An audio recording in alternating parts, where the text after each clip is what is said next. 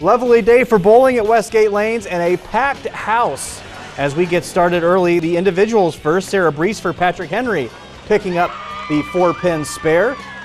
Now some more action for Kenton. Kennedy Farthing is going to pick up an additional three pins.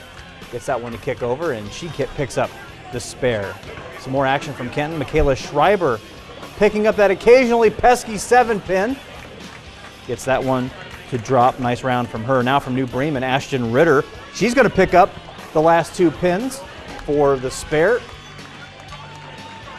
Hannah Rippinoff wrapping up the individuals, picking up the spare for Lima Central Catholic. Actually, one more individual for you as we look over the shoulder of Michaela Baker of Evergreen. Picks up the three pin spare, thankful. And then, yep, that's going to be on Sports Report. That definitely. Now, on to the teams. First for Coldwater. Emily Sudoff. She's going to pick up the last couple of pins for Coldwater. They would be moving on. I'll tell you more about that here in a second. Jaden Gibson for St. Mary's, knocking down the spare. Now some action up north. Spencer Schwager of Napoleon.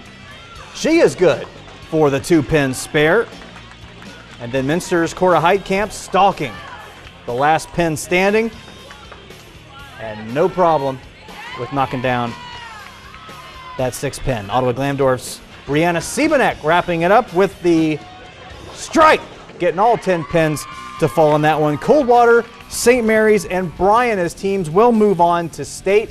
We will update you on the individual scores and the scores in general. Uh, if you have the WOSN app, you can download that and check that out. Also go to WOSN.tv slash scoreboard, and we will fill you in on what's happening in state